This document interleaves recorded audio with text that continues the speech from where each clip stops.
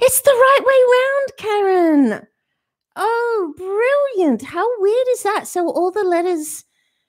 Oh, okay. So me carrying on like that is that's really brilliant. Okay. Um, differences to other um, brushes that you use for other media like acrylic and uh, oil. And I'm also going to talk about brush cleaning. And then the last thing I thought I'd talk about was brush maintenance. I've got in front of me here um, an enormous pile of brushes. I thought I would start with the way that I store the brushes. For, um, oh, that's a little cleaning thing. I must remember to talk about that. This little brush cleaner that I quite like. Oh, that's round the wrong way. Okay, I'm going to start with how I store my brushes. This is called Art Bin. And um, what's brilliant about this art bin is if I turn it like that, there are little holes. If I turn it further, hopefully you can see the little holes at the um, end there. And the same on the other end. And that means that this is the um, kit that I use. Oh, I'll move them out of the way. It's a bit distracting, isn't it? These are the brush. These are the brushes that I take when I'm teaching or when I'm traveling, but mostly I'm teaching all the time. So uh, the brilliance of this brush holder is that it's got little foam bits to store my brushes. Plus, I can uh, shut the lid and then the air holes mean that not one of my brushes has ever gone moldy. I haven't had one issue with it. It's absolutely wonderful. So this is a really good set, though, a really good example of the sort of brushes that you do want to own for watercolor. The reason why I own masses of watercolor brushes is because um, I've spent so many years buying wrong ones and then buying another one and buying another one and never ever throwing out any of the other brushes. How are you going today, Karen? I've got another few minutes to fill in before it's actually 10 o'clock. And um, other people might be joining, or it just could be you and me having a chat today. We could um, chat about something completely different if you want to. We could chat about uh, what you've been doing lately. Karen's been making books. Um, right. I will continue talking about brush holders. This is one of the brush holders that I bought in the very beginning, and um, it was completely useless, but isn't it a cute little design? Don't need that, don't use it anymore, but can't throw it out. What am I going to do with that? Uh, excuse the um, big white uh, reflection that'll go in a minute. Yes, that's exactly right, Karen. Thank you. The bristles are beautifully protected. And that brings me so nicely to the other one that I used to carry my watercolor brushes in. This is um, a good example of the sort of brushes that I used to paint in. Um, I've got some specialty brushes over here. Uh, I'll just move it a little more central there. Hey, Tiffany, how are you? Karen says, save kebab sticks in the tube for marking. Yes, that's that's not a bad idea. Uh, Tiffany, I was just showing um, Karen YouTube live, but I was just showing Karen because I was early, and luckily Karen was early as well. And uh, I was just showing Karen this tube that I bought. This is one of the early versions of um, carrying watercolor brushes that I bought, and it was next to useless. And really, it's super long. If I hold it that way, you can see it's, oops, there. It's as long as my um, forearm. I'm just getting rid of that one. This is the second type of brush holder that I found. It's a super common uh, type made of canvas and it's been sewn up. I've taught some um, amazing people who've made their own really beautiful brush holders. It's this design, and then they've um, they're sewers, and so they've made it out of beautiful material. So very achievable if you want to make your own, but it doesn't. I'm just going to fold the flap over. It easily damaged um, those bristles which was the wonderful point that um, Karen just made. It rolls up this one. You roll it up like so, and then it's got a, a little rope to hold it together. But the bristles still could get damaged in my bag if I didn't store it properly, which is why this art bin ended up being my perfect one. This one is the third type of brush holder that I ever purchased. Look at that little mess, hey? I love these. These are my acrylic and anything I want to uh, ruin brushes. There's a fabulous version here of a, a fan brush. You can see if I hold that up that I attempted, oh, just waiting for my camera to try and focus on that bristle there. Can it work it out? Maybe if I hold it down again and put my hand there. Yeah. Okay. This is me attempting to turn this bristle fan brush into a wisp brush. So I chopped out lots of the little bristles and uh, it just never was really awesome. I ended up just buying a set uh, quite recently, as a matter of fact. Uh, Tiffany says, What about the hairs of the brush in the tube? Do they stay straight? Well, Tiffany, I actually just gave up on the tube. Um, and unless you stored it really perfectly uh, vertical in your carry bag, then you couldn't guarantee um, that the bristles were going to be protected. But you could. Um, and it's a good one for um, acrylic brushes. This uh, one here is, is actually been really, really good and uh, you can see that I've completely filled it up with house brushes. That's another household brushes. And these are not watercolor brushes. Nice way to test whether or not they're um, a watercolor brush is to feel them. And if they are stiff and po pokey, pointy, then uh, that is unlikely to be a watercolor brush. These are all bristles. Having said that, that's a soft one. So often uh, some brushes will transfer from acrylic and do watercolor as well. So anything soft is tends to be something for watercolor. Um, I've got what else have I got in this little set here? This little cutie that I bought uh, when Riot and everyone that I know remembers Riot having a half price sale, and I bought this Holcroft brush and haven't used it once, but which happens with stuff. It seemed like a good idea at the time. I just haven't worked out. So if anyone's worked out what this cute little short thing's good for, it's called a filbert paddle. And it's um cute. I just haven't worked out how to use it. Anyway, this is the third type of storage uh, for my brushes that I had trialed. And then I ended up with this beauty. And I'll just close it again so you can see. The name is Art Bin. Can't recommend this one enough. It's because of the holes, because of the way it stores everything. And this is the set of brushes that I ended up loving and using all the time. I'm going to set that one aside and talk about all different types of brushes. So I've got this lovely big pile here. I'm going to talk first about the Haka brush. Just move that down there. It is, I'm just going to scroll up on my uh, chat. Yep, all good. Uh, these are Haka brushes. I used to call them hake until I heard someone Japanese uh, pronouncing that word one day and they were saying haka. They are a natural brush hair. It's goat and beautifully soft. And it's got a very particular binding where it's been bound with a really taut kind of um, string or cotton through holes into the wood there.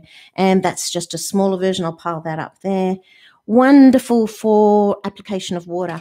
This I purchased as a. Um, I thought this might be more effective because the bristles are longer than, I'll just put it in comparison there uh, to the Haka, but it turns out to not be quite as soft. I'll just move them down.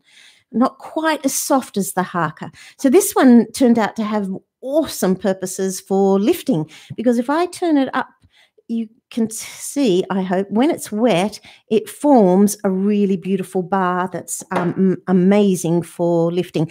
Hey, Alex! yes, that's how you say it, a haka brush. Thanks for joining me. Alex has moved away um, to the north in Australia. We're in lockdown in Sydney, and Alex moved away just before the lockdown. So, uh, lucky her. I'm talking about brush types at the moment, and um, the Haka, which all I use it for is water. But when you go on YouTube, there are people there who, yeah, lucky you, Alex. There are people on YouTube who just paint with Haka brushes, and it's rather marvelous. It's spelled H A K E. I'll write down some stuff um, a little bit later. So I'm going to talk about some more types of brushes. I'm going to start with stuff that I love to use. I love these. I love them for water.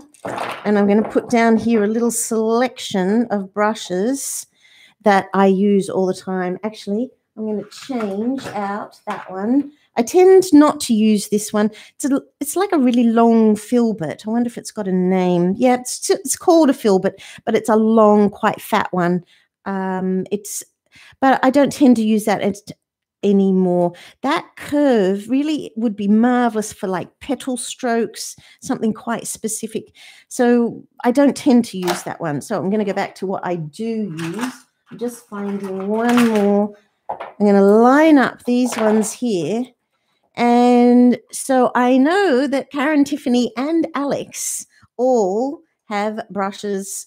If not this exact brush, then they have um, brushes that are incredibly similar to that. And Karen, Tiffany, and Alex all know how to um, paint really, really well. So if they're also using this kind of brush, you can't go wrong. The brand is called, I'll try and hold it up, but I don't know if the camera will work out how to focus in on it. Yeah, Karen says they're wonderful. Alex has them. And Tiffany, everyone agrees. This is called Black Gold. I have to turn it towards me so I can read it. Black Gold 311. It's a series of brushes called Black Gold 311. This one is a size two. This one, oh, it might be the same. Is that the same? No, that's a little bit smaller. That's a size zero and this is a triple zero. It does go smaller again and it does go larger again, but these three brushes are just what I use nearly all the time. Anything with a beautiful point is absolutely um, brilliant for watercolor. And the other thing about them, I'll just, oh, I'm finding a white spot there. Um, I'm going to spring it. it. The screen is back to front, so when I'm moving one direction, it goes. The screen it goes in the opposite. Anyway, I'm springing it. And the point of that, and I turn it that way, spring. Well, that's not helping, is it? There. when you have a brush that springs back, then that means that those bristles are going to have that memory of make sure that they maintain that beautiful position. And you can see also that they have this incredible point to them. And that is just brilliant for detail. And because they've got a belly to them, then you can paint fat strokes, thin strokes. Really, really awesome. So I'm continuing now with the brushes that are the brushes that I use every day. Quills, they're quills, so quills are bound with the wire. They have a plastic around them as well, a little bit different to the other types. I'm going to come back to the ways in which the brushes are made up. This is uh, a flat brush and I'll turn it that way. You can see it's got a thin edge to it. I have heaps of flat brushes. This one I'm using at the moment is rather marvelous. It's an artist first choice. It's Taklon. So the only brush I've talked about so far that was natural hair was the uh, Haka brush. That's um, goat hair. Nearly everything else I own is um, a type of hair that is synthetic and i find that the synthetic brush hairs are able to replicate natural hairs really effectively these days. Oh i paid about $35 for this one probably $30 for that one and probably 25 it's the cost of those was around that. I don't pay any more than $35 anymore uh, for brushes this flat brush is marvelous for lifting off. It's lovely. Yes, thank you, Alex. I agree. Such good value. Um, yeah, so the flat brush is wonderful for straight edges and lifting off. I'll do a little bit of a demo of that if you're all still hanging around. Um, a bit later, I'll do a demo. This is called a liner, and it's a little bit different to a um, rigger brush. A rigger brush is really, really long, and this is a liner is thin like a rigger. It's a type of round, but it's thin like a rigger, but it's a little bit shorter. So a liner brush would be a good two, possibly three centimeters long, whereas this little liner is, oh, maybe the bristles are a centimeter long. And I'm going to add that to that little list here. The, this pile of brushes that I use all the time. This one here is a little tiny filbert, and I'm surprised. This is a Cotman, Winsor and Newton. So Cotman is their student brand um, and I find that this little shape is uh, like a small, I use it like a small version of my flat brush, except it's being a filbert, it has a slightly curved edge. So I find that the sort of lifting off that this little filbert can do just is a little bit different to the lifting off that my flat um, brushes can do. So um, that is the basic set. And then if you throw in a Haka brush for water application, then that's probably the cheapest way. So under, say, $100, you could get um, a really awesome set of watercolor brushes that will do everything you want. I'm just going to show you now my setup for when I'm making my YouTube videos. And I just have to lift it up. So, also a few of the ladies here, um, Karen, Alex, and Tiffany, probably also have one of these. My husband made them out of uh, cedar, but lots of people have made their own out of any sort of substance, uh, as long as it's waterproof. And um, the purpose of them is that once you've finished painting or in the middle of painting, you can leave your brush sitting there loaded up with all the paint and it's not going to roll, it's not going to put the water. Yes. oh, Tiffany, absolutely. I'll I'll um, bring one to class when we finally get out of lockdown. I will be able to bring you one. Um, this, yeah. So you can see here, I've got two of the quills and that's another type of flat, so incredibly similar to this one. They both work really beautifully. This brush brand is called Art District, and it's a three quarter. There's my lovely little uh, liner brush. Now, sometimes I, in, rather than using the Haka brush, this is a $4 brush. This is like, oh, I reckon I might have paid $50 for this. It is made quite magic. Um, I don't. This is awesome for travel because it doesn't matter much what happens to it or if someone borrows it. But this one, oh, it's so beautiful. It's got a mahogany handle. It's made in Sri Lanka. The brand is Kazan, and or the, or maybe it's a Kazan and the brand is Neef. I'm not sure. It says Kazan by Neef on the side. Anyway, it's a size four and it's a mop. So when you turn a mop upside down, I just put that in the middle of my hand. It really is um, shaped. Thanks, Alex. Ah, really? Uh, Alex was just commenting she hasn't got hers with her. Are you talking about the mop or the Haka? Um, Alex will reply in a second. Uh, the mop I find is brilliant for um, gathering up lots of water. Plus, it has a tip. So that's the disadvantage to the Haka brush is no tip. This one is shaped, but you're talking about an insane price difference. Ah, the brush holder, Alex. um, so we're talking like four dollars uh, versus like forty or fifty. I'm really can't remember how much I paid for this one. It's a quill, so it's got that binding where they've put the wires around at the ferrule level there. Um, talking about ferrule, uh, that brings me to I'm going to get a piece of paper and talk about the parts of the brush. So if I lay down this brush, look at these brushes everywhere. I'm going to lay it down here. You've got this section, which is the bristles, this section here called the ferrule, or is it ferrule? Uh, thanks, Alex. Neef is the brand. And this section here is the handle. There are lots of other ways in which you might describe the bristle. I'm going to let you think up some um, different ones here and I'll jot them down as you think of different ways to describe the bristle. I'm just going to talk about how it varies from brush type to brush type. So in this one, we've got bristles, ferrule, and handle. But what's really common is this one here, where you've got bristles, ferrule, and it's metal and then the handle. It's really common to have a water, um, a handle that's made of wood. It's really common to have a, a ferrule that's made of metal. And in this, it's the a machine has been used to press down on the bristles and keep them in place. I understand there's some glue in there as well, which is why you don't want to leave your brushes soaking in water. It might dislodge some of that water, uh, dislodge some of the glue, and that may cause some of your bristles to um, molt or as in fall out. Uh, the yeah, so the handle is often commonly wood. The huge advantage to this mahogany wooden handle Hello, Sharon. Sharon says, Where did I buy the black gold? Such a good question. I um, found recently someone who was um, bringing them into Australia.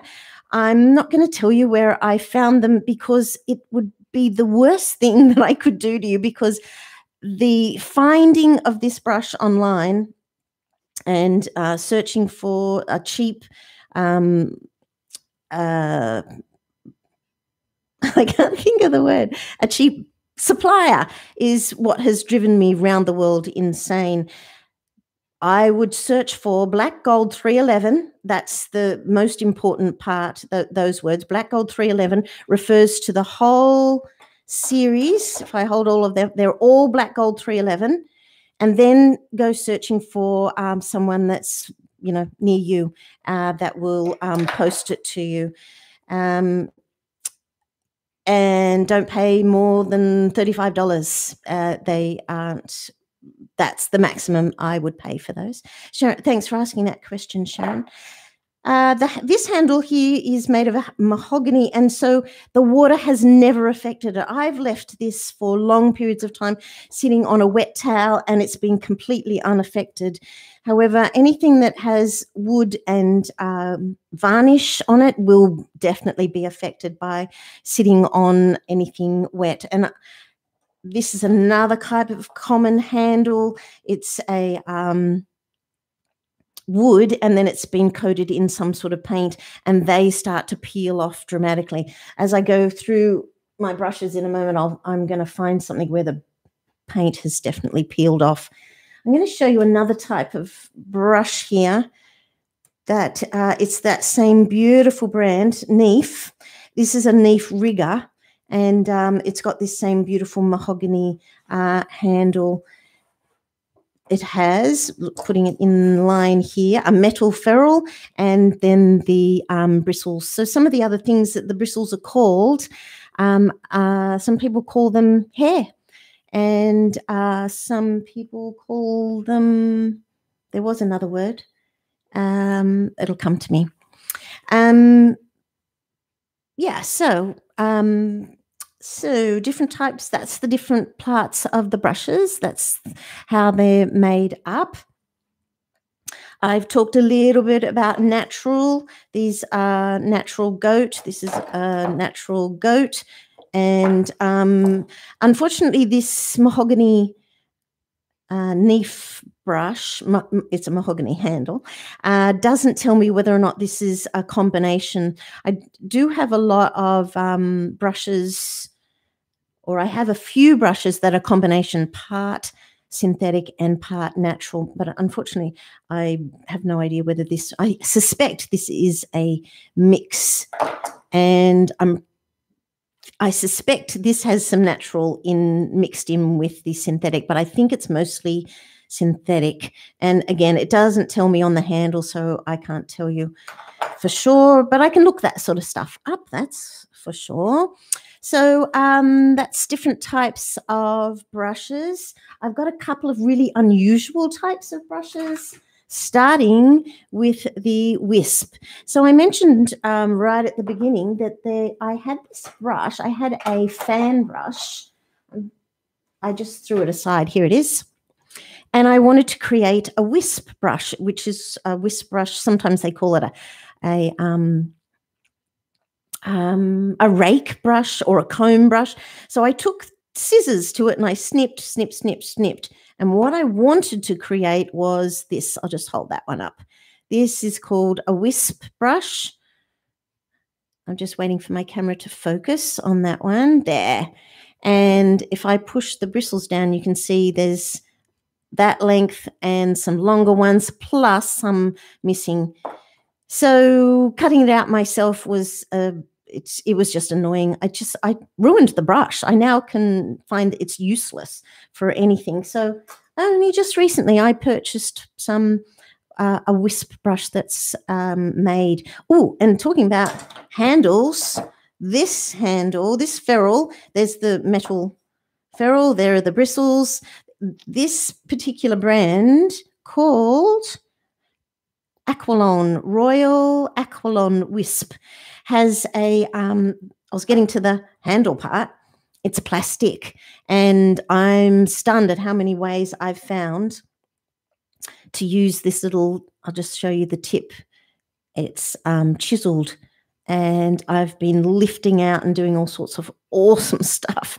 Um, in, so you don't have to reach for um, a stick, you don't have to reach for a, a pick, you don't have to reach for anything. You've got two in one. I'm, I really quite am loving this wisp brush. I was talking about more. I'm so at the moment I'm talking about unusual brushes, and I've got another unusual brush. This one here is called a whale brush because its tip is shaped like a uh, whale. So it's also a black gold um, is that what I called this one? Black gold? Yes, black gold, but it's not the 311. It's a size one. And I'm here to tell you don't waste your money on that one. Just useless. Or actually, if you've got any good ideas about how to use that whale brush, that would be awesome. Maybe it's just not meant for watercolor, and maybe I um, should be using it as in acrylics. I'm really unsure, but I got um, I found that I wanted to try it out. You know how you're online sometimes buying stuff and you go, ooh, I think I'll try that as well. It was a waste of money. I'm just going to talk about another type of brush that I have.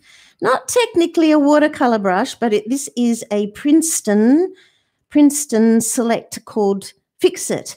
And I'll just lay it there. Its bristles are incredibly short and it's designed for corrections. So insanely hard.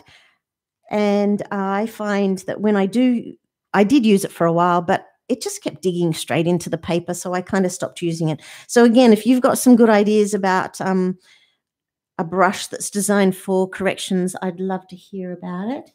Uh, the other kind of brush that I haven't mentioned yet are these water brushes. So lid and bristles quite stiff. And then you've got a little ampule down here. It screws off. It screws off. You put water in the bottom half, and um, I'll just show you the tip of that. Oh, I mean the bottom. you fill it with water, and then when you want to paint with it, you squeeze the barrel, and the water goes up to the brush and you can paint with it. These are superb for travel because you don't have to worry about um, packing lots of water. Right. I've got one more type of brush that I'm going to show you. Uh, this one here is a Da Vinci Spin. And while the, I use it like a flat brush, so marvelous because it's got this end to it. If I turn it that way, you can see how thin it is. Marvelous for lifting off. However, the I don't know if you can see the damage. I've attempted to fix it with um, nail polish all the uh, paint started cracking off. But that's my fault, really. I would have left it on some sort of wet towel. This is back in the days before I used my brush holder. These days, that wouldn't happen because every time I use it, I would sit it on the brush holder and then it's not in contact with something wet, whereas it would have been in contact with something wet. And that's how the paint starts to slowly come off. So, not the fault of the brush, totally my fault there. And um, my attempt to fix it with nail polish kind of worked, but you can see it's continuing to crack. Um, and I really enjoyed this brush for a long time. But once it starts to peel like that, I find the joy in using them um, kind of kind of leaves me. I'm just looking for any other brushes I have. Oh, I didn't think talk about the purpose of this beautiful one. It's called a rigger, but it's it's a fat rigger and it's wonderful for holding a lot of water if you're feeling um, like doing a stack of water as doing some long uh, marks like that. So the next thing I thought I would talk about are um, ways to use um, all the different brushes. I'm going to start with my essentials, which is this set here. I'm just going to clear some of these away. I'm going to zoom out so that hopefully you can see my I'm just going to put that there and then I've got, I'll zoom out so you can see my palette.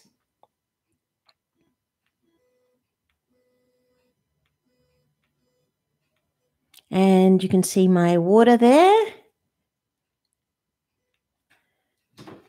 Oh, I mustn't forget to talk about this little cleaning tool uh, when it comes to talking about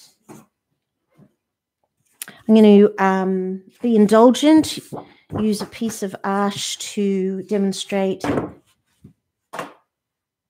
lots of um, brushstrokes.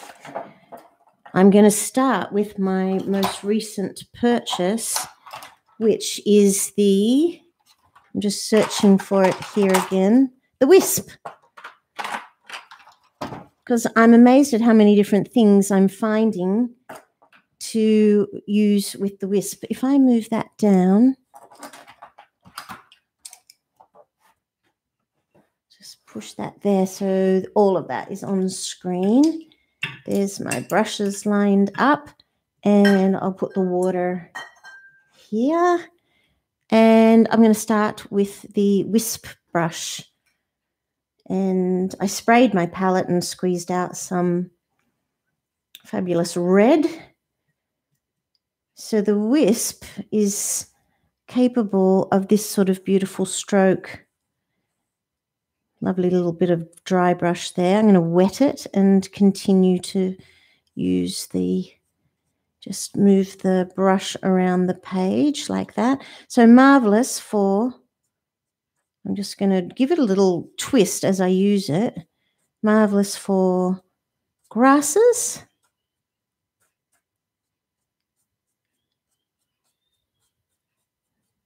like that. That's the wisp brush. Just washing that off and dumping it over on the side there. Here's my quill, my black gold quill. This is the size two. I'm going to wet it. I always wet it first. I think it helps the brush uh, take up the paint. I'm loading again with this beautiful red. And the beauty of this brush is that you can do fat strokes and thin. And within the one stroke, you can go fat up to thin.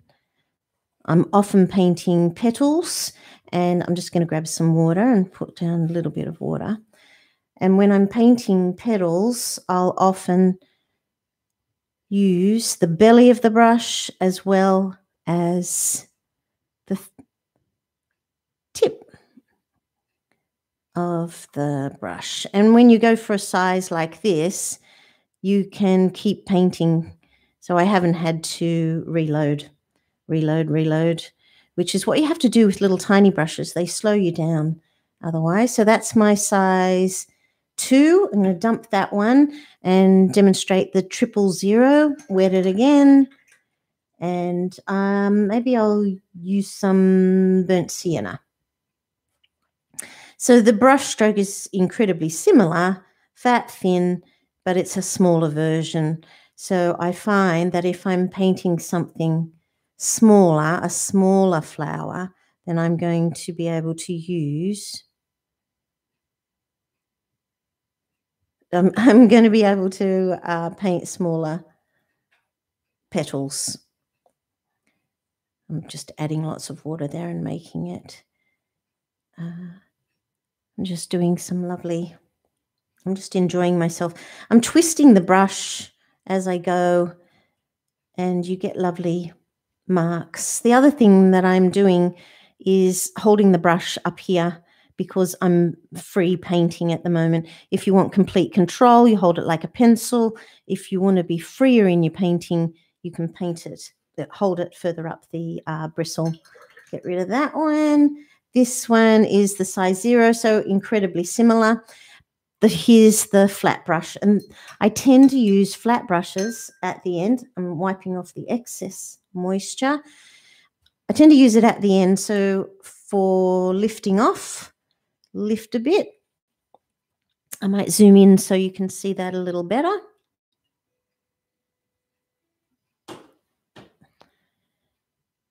And wash it off, put it on the towel. Remove some, put it on the towel, wash it off. And every single time I remove and put it on the towel, remove, put it on the towel. And you can see here that I'm able to lift some of the paint. And it's often at the end of a painting that I need to do some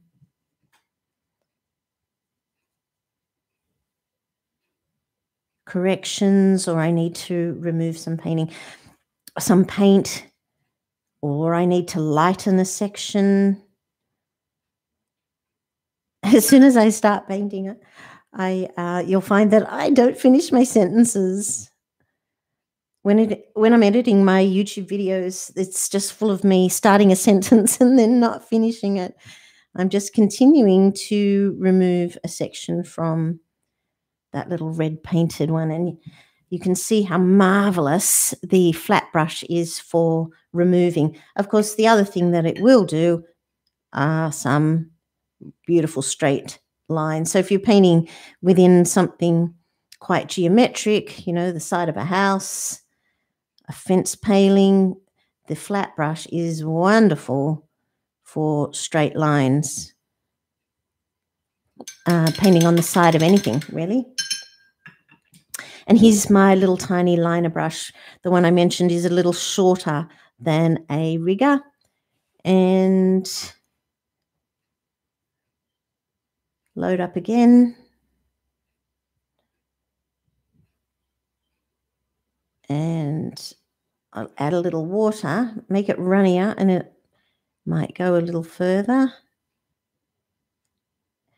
And I use it for so many things, but tiny things. So I'm just going to add to the grasses there. Add, add, add.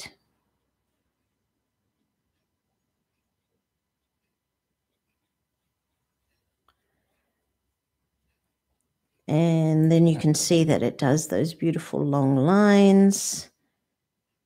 Marvelous for a whole stack of stuff. So say, for example, I'm just put down some lovely watery paint. You're painting petal and I've been painting um, my I've been painting blossoms and the petal shape is kind of like that. So now I'm going to use the liner brush, load, load up with some thicker red. So this is a light tone full of water. And what I'm going to add is thick um, paint. You can use this. If I turn it like that, that might be easier to see as I drag the brush through. I'll turn it that way. Drag the thick paint through. You can get some really lovely effects Looks a little bit like a shell. Love that one. I could also use it with water. I'm going to drag it through the red and see if I can split that pigment apart. Just dragging water through reloading and, but not getting rid of, not drying it off. I'm getting rid of the drips so I don't make drips on my page. But you'll be able to slowly see that pigment is splitting apart. I'll just hold that up, see if you can see that beautiful mark that that's made there. It's really wet and it will continue to split for the next couple of um, minutes. Um, the other thing that I thought I would talk about, I've already talked about storage and the different parts of the brush, different types of brushes, the different types of bristles. We've talked about brush strokes. Is there a brush you'd like me to demonstrate? Um, I've talked about brushes that you use for other media, uh, like acrylics and um, oils. And I think that um, brushes that work for acrylics seem to work for oils as well. Don't quote me on that one. I'm not an oil painter. I only ever dabble in oils. I've talked about um, brush storage, and uh, I also wanted to talk about um, maintenance.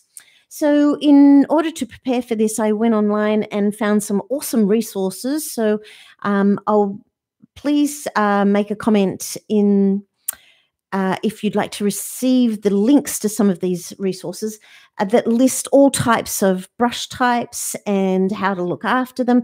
And I found this awesome article by Birgit O'Connor. I hope I'm saying that right. Uh, Birgit O'Connor. Um, oh, thanks, Tiffany. I'll come back to that in a sec. Um, anyway, it's an article written by Birgit O'Connor about um, maintenance of your brushes. And she talks about really basic stuff like um, wash them out. Um, I know that seems completely obvious, but I'm just going to talk about that maintenance uh, in a second. Uh, Tiffany just asked, I find, or commented, I find red sable difficult to use, or you don't know how to use it. And I don't know that I have a red sable. I'm just going to put those back for a second. But I suspect very much that this is what a sable brush is like. There are a lot of um, Asian brushes, Japanese brushes, Chinese brushes that behave in a different way to watercolor brushes with spring in them. So, for example, this uh, Haka brush is, I would call that an Asian brush. And I'm pretty sure that this one here, see how I can move it to a point and it um, remains there. The same will happen with the Haka brush. I'm just going to wet the bristles. And now that it's wet, I'll just get rid of the dab drips. You can bend it. I'll bend it. it's not really doing what I'm talking about. See how I can bend it and it remains really, really messy. The natural hairs, um, such as sable, and I'm pretty sure this is a natural hair one. I think it's sable, but I um, am not sure. I find, though, that the natural hair brushes don't have the spring in them. So you use them in quite a different way when they're um, the type of brush that moves to the side. So if you've ever done one of those courses in Asian art, I'm going to demonstrate using this um, big mop. I'm going to wet it and um, I'm just going to get another piece of paper. I've got some cheap paper here, some Anko. Just uh, grab a piece of this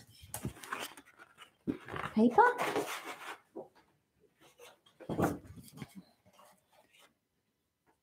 Yeah, so the mop I'm talking about at the moment and how different it is.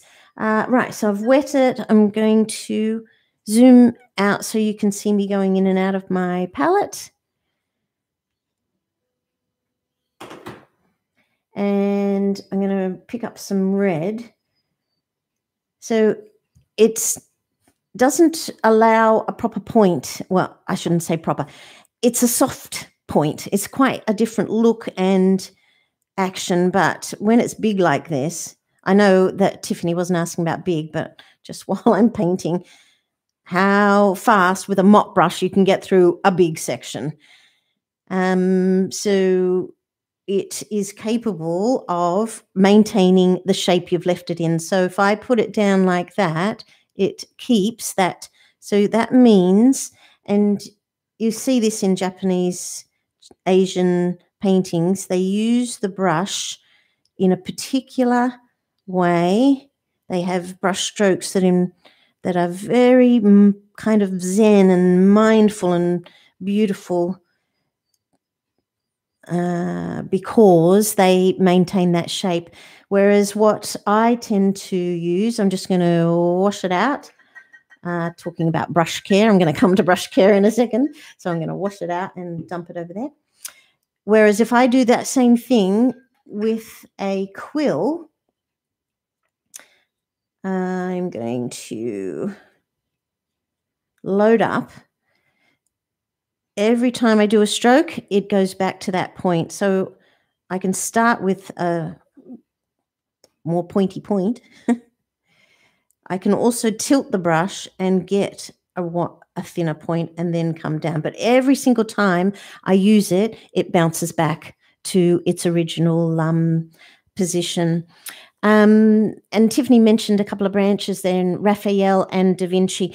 And I mentioned um, one of those brushes was a Da Vinci, uh, Princeton. This, I think, the little flat one. This, this is the only Da Vinci brush that I own. Um, a lot of the brushes in the beginning I bought from Riot, and then they stopped selling really nice um, watercolor brushes, and they sold other annoying kinds, of uh, watercolor brushes. Um, so I don't know much about Raphael at all. Um, but I'm wondering whether Tiffany's question about the sable bristle is to do with the fact that it doesn't um, bounce back. Um, so I was going to talk about cleaning. And since this brush is loaded, I'm going to get rid of this paper, come back to my jars of water. Now, they are both red at the moment, but one darker than the other uh, I try to use a system of dirty water and clean water. I give every brush um, a rinse in the dirty water and then the clean water. And of course, the clean water slowly gets dirtier. But the um, uh, and if I want to, I could change the water at any time. But I don't want to in the middle of painting. I like to get the flow going and not stop that's why I have two jars of water so I don't have to um, change my water. So Karen just said that she's been wondering about that for years. So which bit were you wondering about? The different types of um, bristles? Um, just while Karen's answering that question, I'm going to talk about this little brush cleaner. Oh, no, I'll finish talking about this. So, dirty water, clean water, and that's all I use while I'm painting. And then at the very end of painting, I get another two jars of water and I make sure that the final jar of water is incredibly clean, that there's nothing left in it. Uh, I have on many occasions left my paintbrush sitting, drying. I like to leave them drying flat on many occasions, I've left the paint on them. Oh, thanks, Karen. Yeah, bristle behavior. Yeah, yeah, they sit in different ways. So leaving them lying flat, I think, is really good because you're not, if you leave them drying vertically, it's hard for you to see because of my uh, top camera, top down camera you will be encouraging that moisture to travel down into the ferrule. And as I've mentioned, in the ferrule, there is a, a, type of glue in many brushes, and you might be sending the water down there. You might be um, not allowing the wood to dry out. So I allow all my brushes to lie flat. That's the other reason why my brush holder is awesome because the brushes sit flat all the time.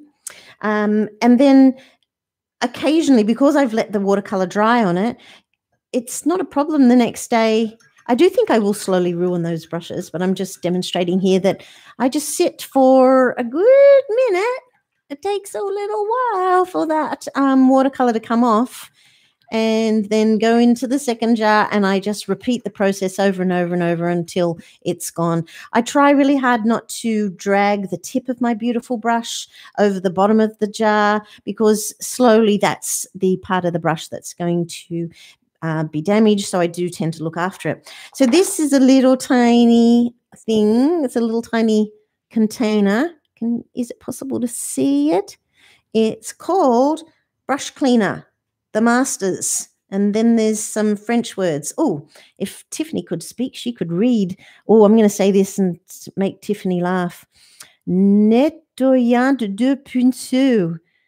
I can hear Tiffany laughing to herself because she speaks French. So, what you do, it's kind of like soap. And you just put a little bit on your brush and I've been amazed at how this gets out any remnants of watercolor. So on those occasions, yes, Tiffany wrote the word. She she knew what I was saying. That's pretty good. Or is that because I said brush cleaner? that just means brush cleaner. Sounds way more beautiful than brush cleaner. Anyway, I've got a little bit of soap and then you just wash it off and that will get rid of any remnants. So whether or not I've um, got a little cutie bit of soap here, I don't know. It might work just as perfectly, but the little container is brilliant and so easy to throw into my kit of stuff for those times when I've let the uh, watercolor dry on my brush. I did say it properly. That's very nice of that. Oh, where did I get that? It was a freebie. Uh, Alex, thanks for asking. But if you want to go find, well, when I say a freebie, it, I should say it was a gift. Um, that's a much nicer way to say what it was. Um, but if you go looking for it, it's called the Masters Brush Cleaner, and it says use with water. I can't give you any other information here, but it does say on the back that it um, cleans wet and dry, oil, paint, acrylic, and watercolor. I suspect it is soup. Um, right. So I can't think of anything else that I was going to cover today. I did parts and types and bristles, strokes, quality, uh, other types of brushes for other media, cleaning, storage, and um, maintenance. And maintenance is about washing them and storing them flat. And I'm going to come back to the very beginning in case anyone missed this at the beginning because I started um, early. This is my first ever live stream, and um, so I logged on and and the it just began streaming, and um, so I thought I'd just tell you what I was talking about at the very beginning, which is I'm going to turn it on its side so it stops reflecting at you. Which is how I ha- store my brushes. It's called an art bin, and um, it's the best um, paintbrush storage that I've ever owned, and it really only cost uh, like twenty bucks, maybe um, something like that. And what's brilliant about it is that it's got firm foam holders that you can slot your brushes in and easily out of. I can see everything that uh, I need. I'm put it on an angle again. So all that big reflections happening, isn't it? Um, I can see everything, but the be- best part about it is if I turn it on the side, can you see there's one, two, three holders. Excuse me, not being able to work backwards. I'm left-handed and I struggle with going in the opposite direction. Alex says, I try to make brush cleaner and wouldn't do that again. Oh, that was a good tip then. That's interesting. So that perhaps that's um oh, I wonder why. I wonder what's in a makeup brush cleaner that um I wonder if it's got some sort of oil. That would be um, very interesting. Anyway, I've come full circle back to my awesome um, art bin. I really wish. Oh, look, I've just made a big mess of myself. I really wish. I'm just going to reach it for a tissue. I really wish that um, I could um, put a link down below to wherever I bought the art bin from and get a commission. That's very mean of me, isn't it? Okay, I'm going to put the link down below. Uh, so that you can go and find it. It's uh, from an online store, but I don't remember which one. I go to lots of online stores. Um, and I like to wait for specials. So that's how I got that one there. Um, ah, Alex says, yes, please. I will. I'll put that link down below. Um, is there anything else that you can think of that you'd like me to cover today? I've gone for 49 minutes. I'm pretty amazed at that. I've been talking nonstop for 49 minutes. Oh, actually, it's 59 minutes because I started a little early. So, what I'm thinking is that um, I really appreciate that you guys joined in. So, if you'd like to do this next Thursday, um, then I'd love some suggestions about a topic that I could talk about. Or, you know, do you want to paint together. We could uh, find a subject. Uh, thank you, Karen. That's a wonderful thing to say. And um, uh, yeah, so if you've got a suggestion, I'd love to. Um, yeah, miss you too, Alex. I'd love to do another one next week because this has been like a lovely thing to do during lockdown. Uh, because I live in the south of Sydney and we are in lockdown till the end of August. I cannot believe it, but uh, that's actually true. Look, I've got this paint. I really appreciate. Oh, thank you, Karen. That's lovely. Um, I really appreciate. You can message me, guys, um, if you've got anything uh, to paint together, Tiffany, right? Then I'll come up with a subject that uh, we could paint together. And you know what? It's very likely to be gum leaves because gum leaves are accessible to nearly everyone, especially if you uh, live in Australia. And um, they are so easy and beautiful to paint. Um, Right. I will put my thinking cap on about that, and it's very likely to be gum leaves. So if you want to join me next Thursday, find some fresh gum leaves. I love painting from. Um, oh, Alex is uh, going traveling. I'm jealous, Alex. I cannot go traveling. I cannot go further than five um, kilometers. Oh, excellent. Karen loves the idea of um, gum leaves as well. Oh, did I say Alex or Karen this second ago? Doesn't matter. The point is, let's get together next Thursday as well and paint gum leaves together. Thank you so much for joining me. I really appreciate it. See you next Thursday. Bye, everyone.